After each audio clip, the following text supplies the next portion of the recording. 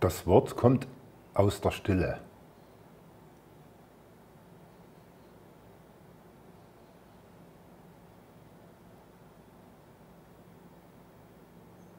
Der, der Mensch kommt aus der Stille.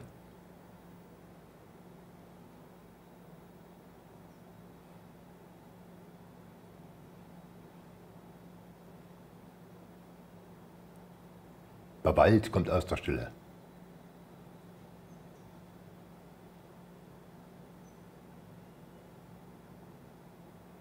Erde kommt aus der Stille.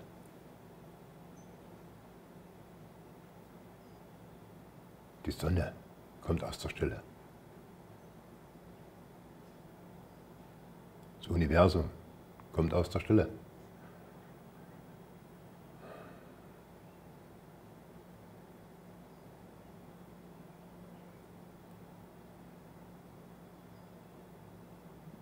Und die Stille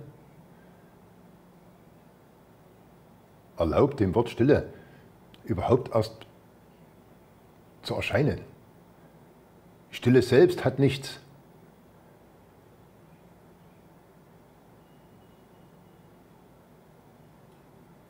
Stille selbst ist leer, ist leer.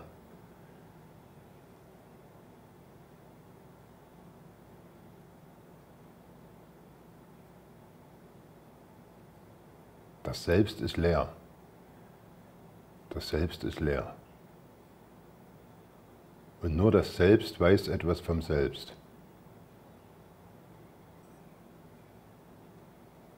Und alles, was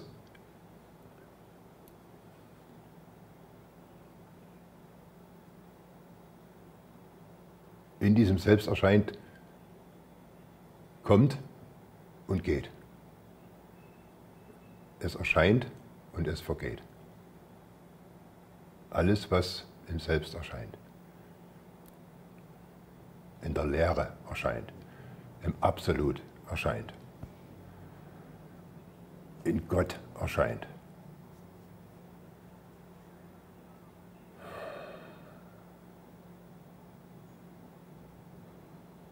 Und um diese Lehre und Liebe Gottes zu erfahren, müssen wir selbst leer werden. Wir müssen leer werden.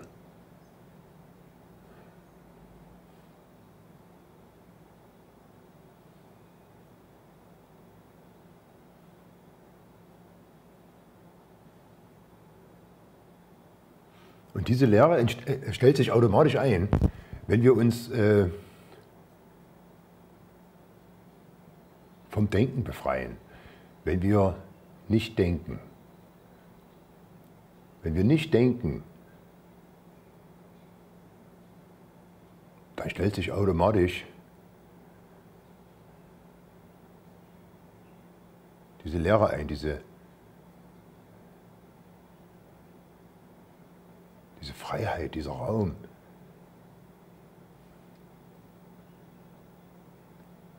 Dieses Absichtslose, diese, diese Liebe, diese bedingungslose Liebe.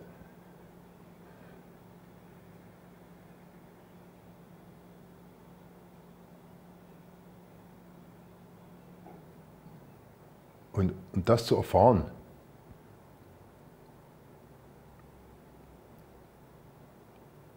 erscheint in dieser Lehre das Bewusstsein, das Bewusstsein. Ja. So, und durch das Bewusstsein, welches in der Stille erscheint, in der Leere erscheint,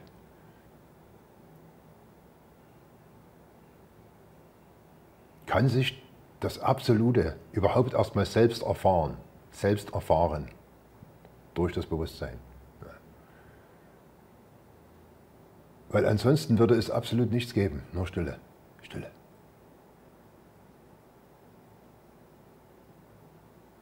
Absolute Stille.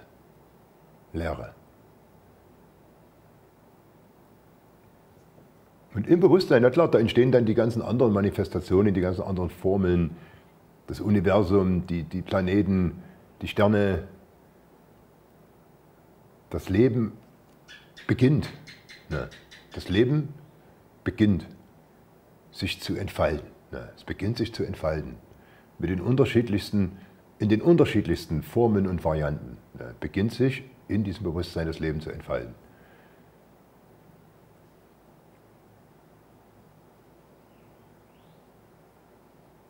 Und das Spiel ist, ist,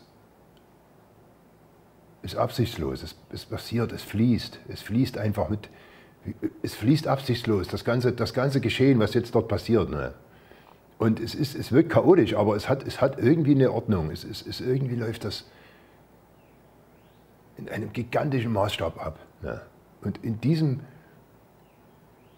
manifestierten Formzustand, der hier entsteht, ist irgendwo ein Sandkorn.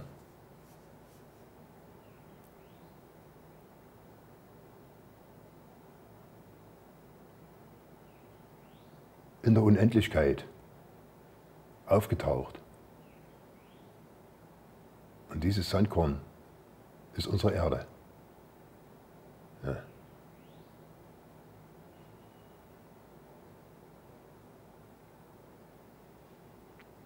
Und auf diesem Sandkorn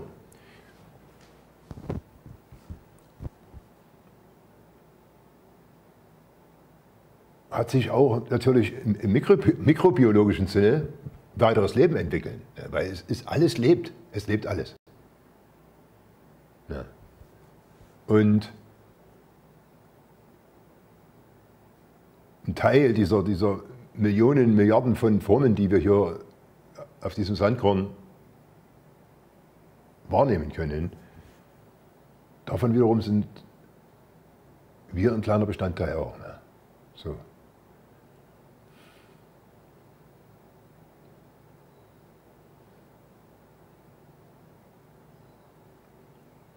Und obwohl wir so ein kleiner Bestandteil sind, sind, sind wir uns sehr bewusst, oder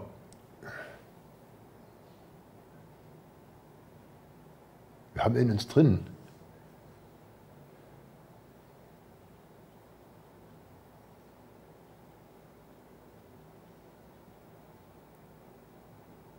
in unserem Herzen haben wir das liegen, da haben wir diese, diese Anbindung liegen. Wir wissen, wir wissen.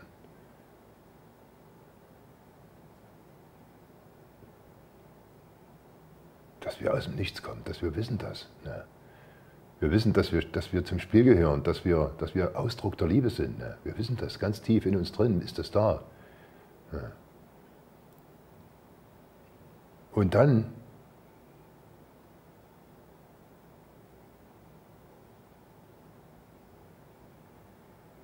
haben wir angefangen, uns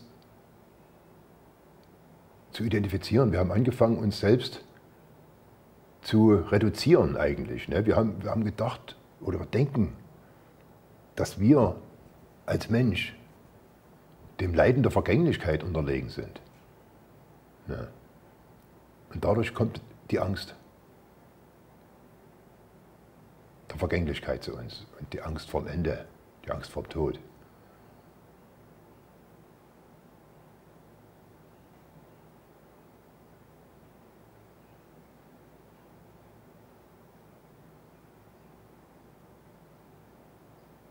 Aber unsere, unsere, unsere Quelle, die Stille,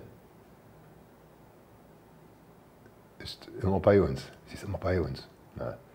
Und wir können immer in diese Stille gehen und wir können die Stille wieder, wieder erkennen. Wir können sie jetzt wieder öffnen, der Stille. Wir können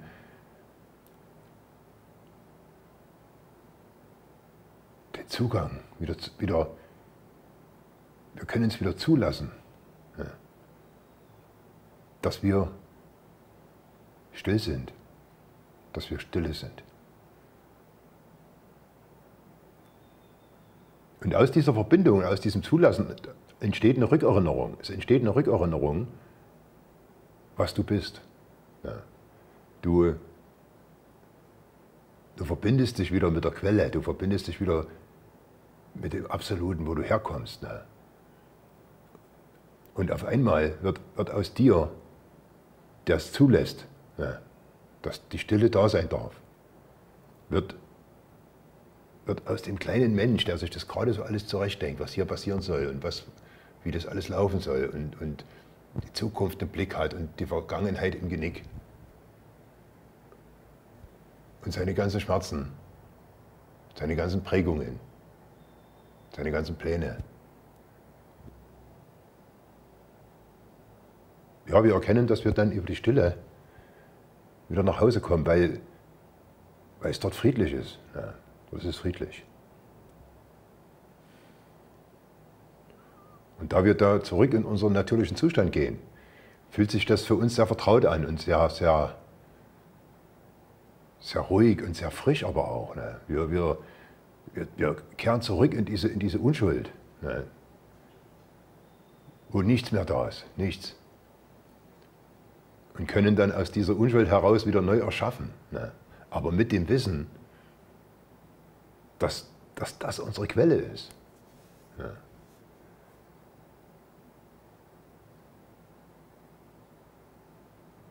Und deswegen bin ich oft auch mit dem Reden so, so weil ich möchte sparsam umgehen auch mit diesen, mit diesen Worten. Ja. Weil das Wort die Stille durchbricht. Ja.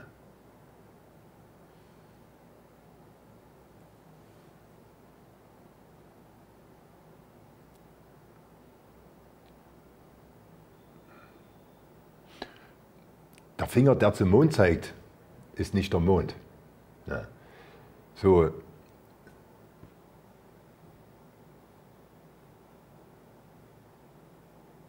Diese, diese Zen-Weisheit, ja.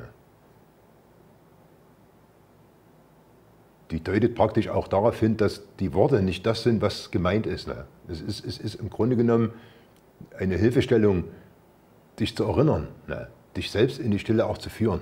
Ne? zurück nach Hause zu führen. Mit etwas, was, was in der Stille schon erscheint. Also es ist schon zweite Klasse. Ja, es ist schon zweite Klasse. So, und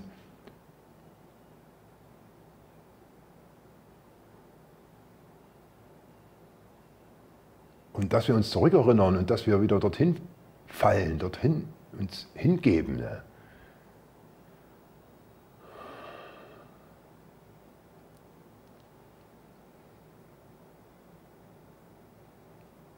braucht es ein Sehen. Ein Sehen der Dinge, die uns davon abhalten. Also im Grunde genommen ist es eher ein Ausschlussverfahren. Wir lassen alles los, um letztendlich die Stille wieder zuzulassen. Die Stille wieder zuzulassen. weil wenn alles losgelassen ist, wenn kein Gedanke mehr da ist, keine Zukunft mehr da ist, wenn keine Vergangenheit mehr da ist. Keine Wut, kein Trauer, kein Links, kein Rechts.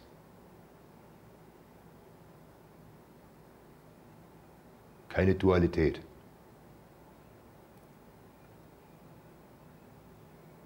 Kein Wort, kein Geräusch. Dann ist alles andere trotzdem noch da. Aber durch dieses Wissen erscheint das alles im rechten Licht. Ich kann immer auf diesen Beobachter hinweisen, weil der Beobachter ist eine sehr starke Position. Und wenn man, wenn man diese eingenommen hat, dann ist schon Raum entstanden zwischen, zwischen den kleinen, formgebundenen Menschen ne, und der Stille wo wir, wo, was wir sind. Ne? Ist schon Raum entstanden. Das heißt, der Beobachter sieht schon den kleinen, formgebundenen Menschen und kann sozusagen schon in Teil in der Stille aufgehen. Ja, so. Weil auch der Beobachter kann gesehen werden. Aber der Beobachter ist, erste, ist der erste Punkt. Wenn man den hat, dann, dann sieht man schon, dann fühlt man schon, dann merkt man schon, da hier ist Raum, hier ist Raum, hier ist Platz, hier ist viel Platz. Ne? Und, und da ist auch sofort ein Effekt da. Sofort fühlt man sich leichter. Ne? Man fühlt sich leichter, weil man merkt, es ist nicht nur das, das Ding da, der Mensch, sondern es ist da viel Raum um den Mensch herum. Du, du wirst zu dem Raum. Ne? Der ist dem Menschen und allem andre, allen anderen Sachen erlaubt zu sein. Ne? So. Und das schafft innerlich schon für dich ein, ein, ein ist der Schritt hinein in die Stille, die du bist. Und du machst das nicht nur mal eine zehn Minuten, sondern du machst das vielleicht tagelang, tagelang, ja, wochenlang, monatelang, jahrelang. Ja. Sitzt du in der Stille mit dir und beobachtest, ja, beobachtest.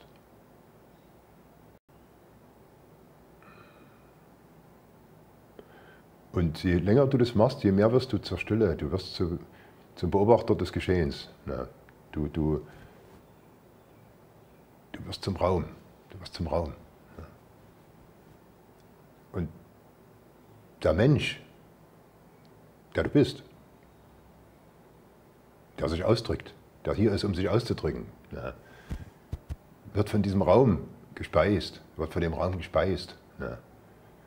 Und da der Raum näher an der Stelle ist, wird der Mensch liebevoller. Der Mensch wird liebevoller. Mit mehr Mitgefühl. Er kommt näher hin zu dieser bedingungslosen Liebe auch. Ja. Und zu diesem Sein. Und zu diesem Sein lassen. Ja. Weil diese, diese, diese friedliche Stille, die der Hauch der Stille durch dich in diese Welt kommt.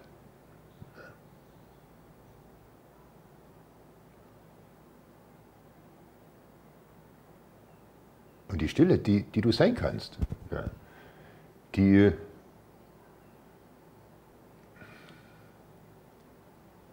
dort gibt es keine Zeit, ja, keine Zukunft, kein, keine Vergangenheit.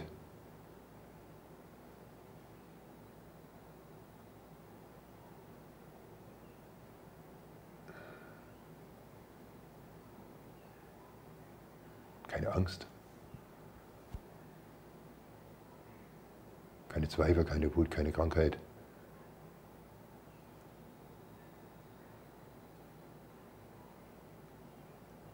Kein Anfang, kein Ende.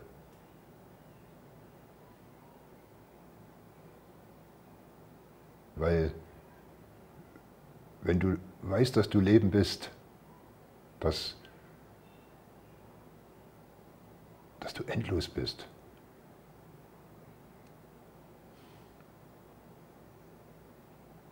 Dann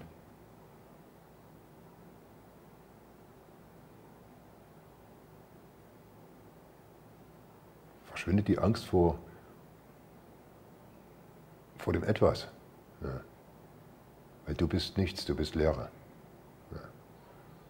Und Leere kann nichts etwas anhaben.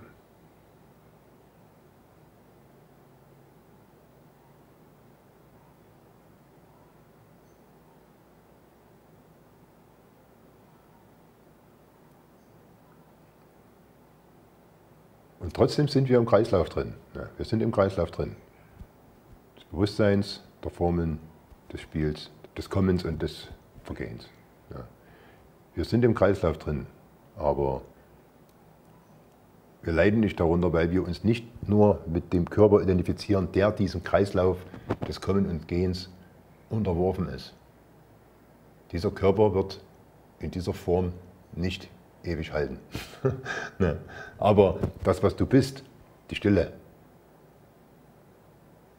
in der dieser Körper gerade erscheint, diese Stille ist unantastbar. Ist unantastbar. Und wenn du diesen Friede, diesen Friede Gottes erfahren hast, dann